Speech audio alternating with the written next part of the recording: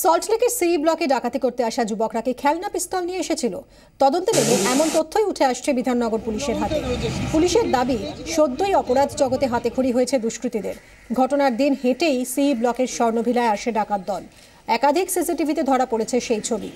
গতকাল ভর সন্ধ্যায় বাড়ির মহিলাদের গান পয়েন্টে রেখে অবাধে লুটপাট চালায় দুষ্কৃতীরা। যাওয়ার আগে বাড়ির বাসিন্দাদের হাত পা বেঁধে রেখে যায় তারা।